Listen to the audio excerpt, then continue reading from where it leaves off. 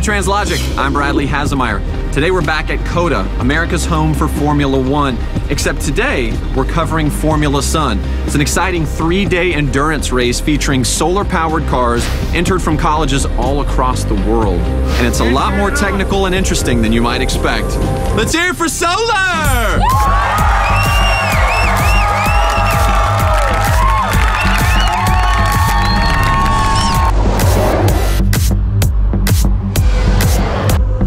Formula Sun is a every other year event.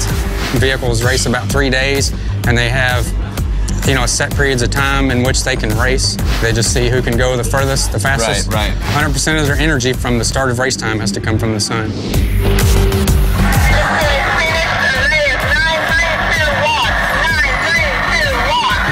Copy, copy. 9321. Yeah, so it's 932 watts, uh, or just about a kilowatt uh, of power. From one lap that they no, got? that's or- from uh, from the sun instantaneously. Whoa, okay.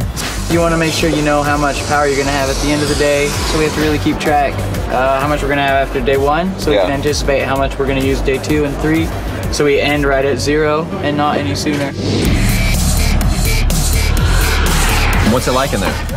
Hot, Yes. but it's really fun. It's actually pretty nice in there. Really? We have a little fan, there's some breeze. We have a masseuse coming, so oh, don't perfect. leave I'll too. come back for that. And how long did you drive? A couple hours? Uh, two hours. Four hours in Right, there. right. So the track here is great. I think I mean it's the best one I've driven on.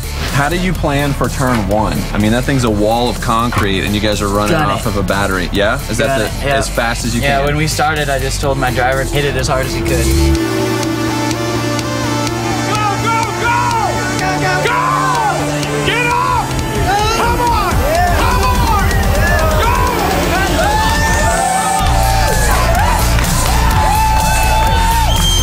Big thing with solar car races is just the consistency. If you can stay on the track all day, Yep. all three days, you know, you should do pretty well. That's it.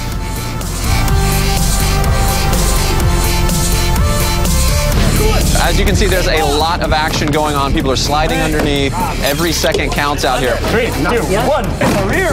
Old water bag coming out. New water bag in. We keep checking our tires fairly regularly Okay. just because we're not really sure the conditions of the track. Got it. It's up now.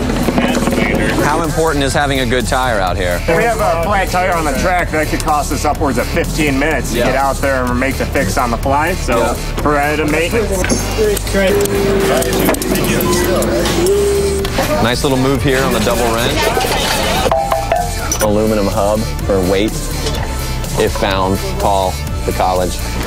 Now that they've taken off the cover, you can see the undergirdings of kind of everything that's in there. All the battery management systems, the batteries themselves, high voltage on a piece of masking tape.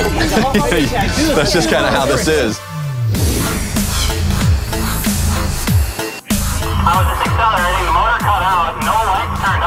The biggest surprise, something that we didn't really know about, is how much stuff seems to go wrong for apparently no reason. So I tried to cycle it and the motor would not engage. All the lights are on now. In theory, everything should work fine, and then in practice, you know, it's a little bit different. We have a digital system, Yeah. so it's um, it's like a lot more difficult to maneuver.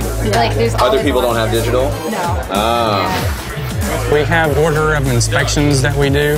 Electrical, body and sizing, array, you know, dynamics, which consist of a, figure eight, you know, braking and, and a slalom. We passed all that yesterday, and today we actually have to try out the drivers. You want to make sure that you brake in 2.5 seconds or 10% of the speed.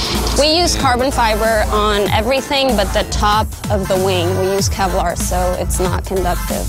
With this car, we wanted to have as flat as an array because what happens is you want to have the rays in a perpendicular. Okay. So if you have curves, which you will see in other Yeah, cars, yeah. they kind of have a disadvantage because if you have a cell that's running at 17%, your whole array is running at 17% efficiency. Really? So Even though these cells are 22, 24% efficient. You're only as strong as your weakest link. Yes.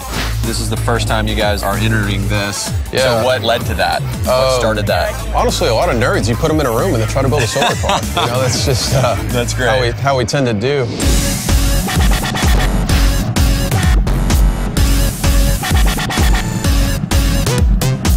So tell me about kind of the competition between teams. It looks like everyone's kind of cheering for each other, actually. Yeah, I mean, everybody wants everybody to do well. We all know how much work has gone into making one of these cars. I mean, it's taken us two years or more that we've been working on this car. Everybody going for one goal. Yeah, so I mean, there's competition out here. We want to be the fastest, but Yeah. we want everyone to do well.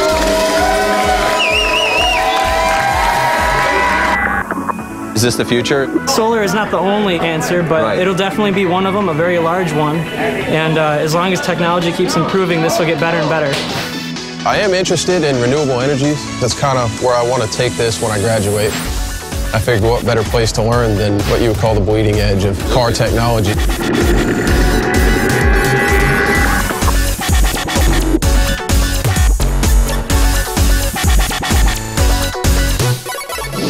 Right, so that's it for our time with Formula Sun. Now, I'll admit, we thought today was going to be kind of a slow day. But the truth is, it was quite exciting. All the people in the pits, all the issues with electrical and tires and driver changes, and it really highlights the complexity of solar energy. It's also exciting to think of these college kids solving problems with their homegrown solar cars on an F1 track. All right, for Translogic, I'm Bradley Hasemeyer. See you next time.